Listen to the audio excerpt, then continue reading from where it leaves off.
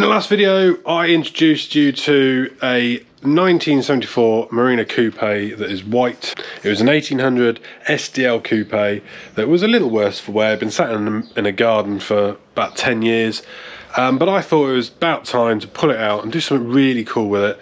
So in this video, we are going to be starting work on the long door coupe project. We're going to get it acid dipped. We're going to see how it comes back. And we're going to try and fit some TR7 front suspension pieces to the front of the Marina Coupe and uh, hope that it all stays level and stays true. We have got a bare metal Marina Coupe just ripe for modification, repair and absolutely making it the best restoration job but also making it and building it into something that nobody has done but thousands of people have talked about. Welcome to phase one of the long door coupe. So I'm just to go through the process of this bare metaling. When it went to Envirostrip, which is in Tamworth, basically the process is it goes into an oven and gets baked to around about 400 degrees or so. So not enough to distort any panels, but basically it loosens all that paint, all the bitumen, and obviously the lead. Areas like here, you can see where that would have been. In fact, it's made my life easier because up here, on that seam, it's exposed all those spot welds which are on the roof which means they can be drilled out. That means that whole quarter panel will come off quite nicely. So yeah it goes into that oven it gets baked and then after that it goes into uh, an acid tank for 24 hours. That is sulfuric acid and possibly some other bits and pieces within that as well. It comes out of that acid tank after 24 hours. It gets rinsed down. Once it's pressure washed it goes back in the acid briefly comes out of that goes into a neutralizing tank. Once it's in the neutralizing tank it stays in there i think for about 10 minutes. Once it's out of that then it gets what happens then? It comes out of the neutralizing tank into a pacifier which is another tank. It goes in there for a little while comes out of there then it gets steam cleaned then it goes back in the oven gets baked so everything is completely dried out and then effectively you're left with this it is literally bare metal. So you will start to get flash rusted. What we've got on it is actually a rust blocker which is over the bare metal. So where you might see it looks rusty but it's actually got a rust blocker on it. So it actually is a clear coat effectively which is wiped on the panels um, which I've also then gone ahead and done it on these as well. It's better than WD-40, it is something that will easily wash off because one thing obviously for body prep and for paint you don't want any sort of waxy or silicon or anything like that on there before you start doing paintwork. Now to be completely metalworked, the whole car, front to back, modified, repaired, built into the long door coupe, which obviously I've talked about before, as well as doing the long door part of it, we're also going to fit MacPherson suspension, subframe assembly, and because of the proportionalness of the car, of the project, moving those B pillars back, we're going to lengthen the wheelbase by four inches. And all the metalwork is done. It'll then go back to Envirostrip. It's then going to be dipped again to get any of the surface rust and get that clear coat off of it. It's then going to go and be e-coated. All of this means one thing we're building this car for, and that's an IVA, an individual vehicle approval test, which is basically my rule book for this vehicle. It has to be approved on an IVA. It'll get a Q plate, more than likely, but it'll be done properly, it'll be done safely, and it'll be done built to last. But now I'm going to get on, and first job, apart from clear all this mess and get these panels out of the way, is to get this whole front end off the car. Right, we're getting a bit technical now, because I want to sort of see, before I start cutting this off, I want to give myself a couple of datum points so I know the wheelbase because we're basically extending the wheelbase on this with the TR7 chassis rails which is down here. So I've measured from the cross member there along so the shell is straight it is straight I've put a level on it, it is straight and level. Yeah so we've measured from the cross member to the center line of where the marina um, lower arm is. So this is here this is 990 millimeters or 39 inches that is the centre line. As you can see the centre line comes up and would actually skew through where the lever arm damper is here. And the arm up to the top that is all nicely level. And then what I've done is measured from the back of the TR7 rail, measured that out to where the marina is, and then measured off the centre line here, which is the first hole where the subframe goes for the TR7, which is where the MacPherson lower arm comes out. And I measured the distance between the two, and that is basically um, 1,110 millimeters from the cross member, or 43 and three quarter inches. So roughly 100 mil, 120 mil extension, or just over four inches, four and a half inches wheelbase extension for using the TR7 setup. This way we get a much better distance from the bulkhead, we have much more room in the engine bay and hopefully it'll look a damn sight better. So there you go.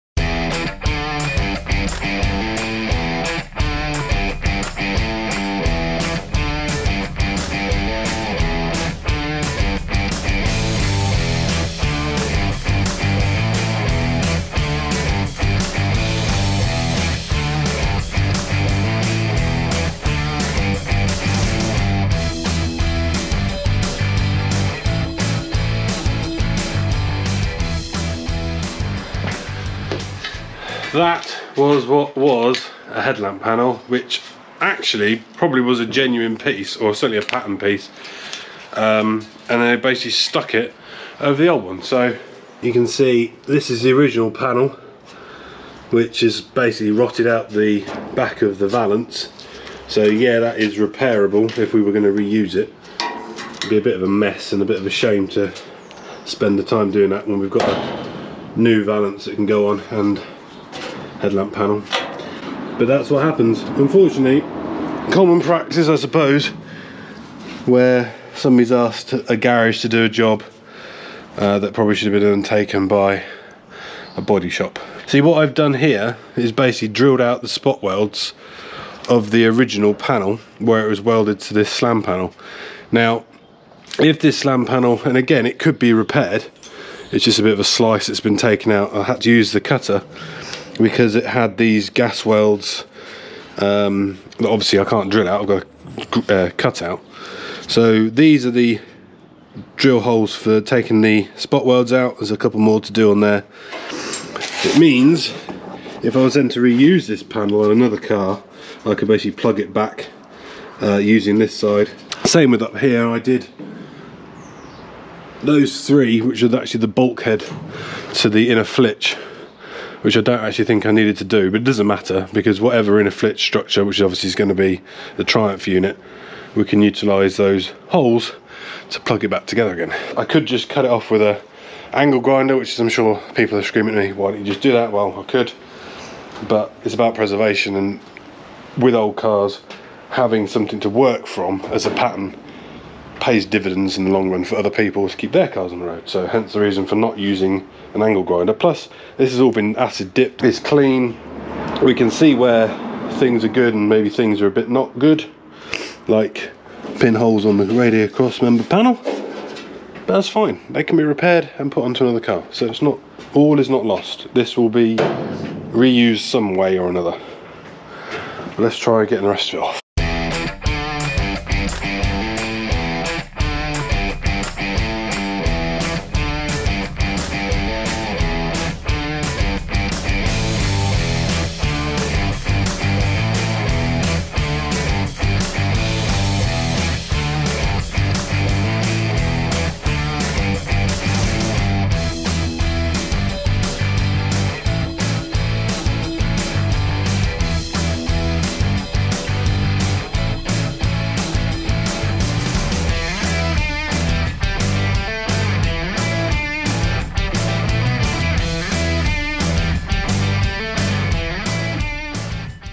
Okay, so I've got a lot of this front near side all drilled out.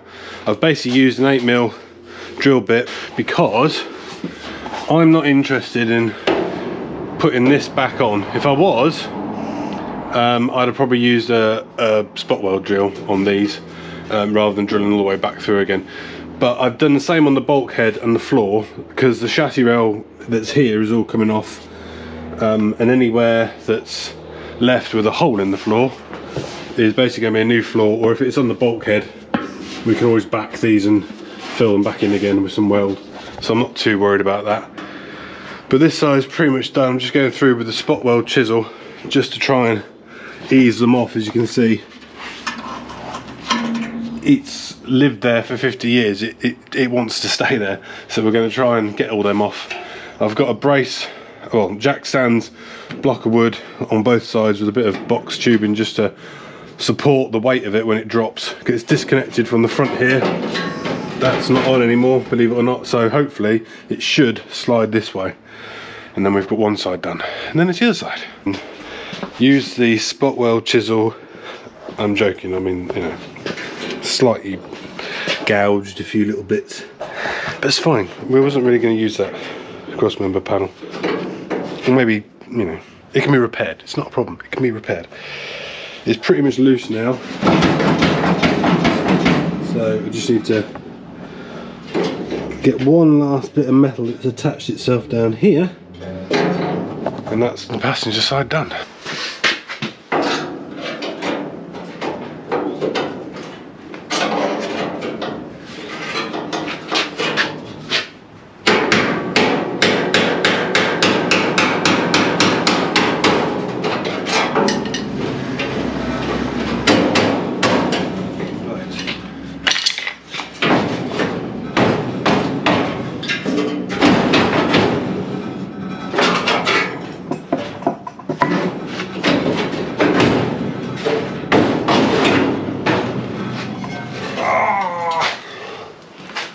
So I've got a car.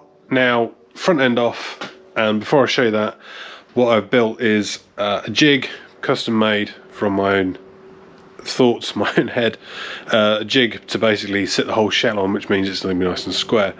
Now this is just made of 50mm box tubing, uh, 4 metre lengths for the sides and then 150mm boxes between them spaced evenly to support the basically make a ladder uh, brace at the back and the front. The central braces where the body locks in, which is utilising the holes that are in the chassis rails which were used when the car was on the production line. The 16 mil holes spaced on the shell. There are some at the back behind the wheel and then again on the uh, front rails where the suspension is. Right, so now the shell is absolutely square, it is straight, it is level, uh, what I've now done is fitted up the TR7 rails and their associated panels. So this side is all done, this is all level and true. Uh, we've set a level on the scuttle, that is all true and level. We've set a level on the back, sorry, the front of the rails, that is square and level to the shell. Everything is as it should be, this is all tightened up um, on the subframe though I need to get new fixing rubbers and things like that because obviously they're quite warm. But it doesn't matter because this is hanging. All I need this to do is to give me the width of the rails. So with that in mind we went ahead and ordered TR7 inner structure front wheel arches from Robsport International. TR7 inner structure onto the Marina body shell fits really nicely. At the moment I've just clecoed them in so it's just to give an idea basing it on these datums of where uh, the inner structure meets the existing chassis rail and it's not bad, it's pretty good. Um, the only thing I'm finding at the moment is that this tower structure is a little bit off I think because you've got a bit of a rounded rail there, I don't know if you can see so we're going to have to pull that in at some stage but the back meets up really nicely so that's good jig around this this turret which is a bit of a pain but the main thing I look at is the back piece is in square to the shell and it should fit okay after that. So on the next video we'll be working on the chassis rails that are underneath the floor. These are going to be made out of 1.2 mil box section. No they're not. These are going to be made out of 1.2 mil steel. They're either going to be bent, laser cut and bent or they're going to be um, laser cut and then TIG welded together. I don't know yet. I haven't decided. Depends what will fit in the brake for bending them and all the rest of it it's in my head it's it's I've got a few ideas I've got a few templates I've made already which I'll show in the next video and yeah we're going from there. But at the moment, I'm pretty happy with where we're up to. Um, this looks like it'll work. Um, it's never been done before, but whoever designed the TR7 clearly was thinking of marinas. No, they weren't. They weren't really. They were just, I think it's fluke, more fluke. There's, there's no evidence anywhere to suggest that the TR7 front end was destined for the marina. Um, it is very close. There's still a lot to do, but yeah, we're getting there. So stick around in the next video. Hopefully, it'll look more like a front end of a car again. Um, and then we'll have new rails underneath and we'll start working on the rest of the car.